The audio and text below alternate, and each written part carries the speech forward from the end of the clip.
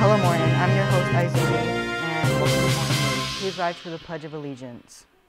I pledge of allegiance to the flag of the United States of America and to the republic for which it stands, one nation, under God, indivisible, with liberty and justice for all. Morton's Addams Family Play was a great success, and everyone did a great job. Today is the PTO meeting in the library. Monday is President's Day and kicks off our winter break. School was resumed on Monday, February 28th. March 3rd is our Morton M ceremony.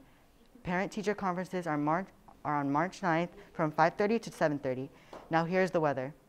Today will be sunny with a high temperature of 29 degrees.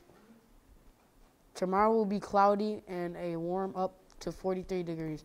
Thursday will rain all day, but gets even warmer of a high 55 degrees. And Friday will also rain and be in the low 50s.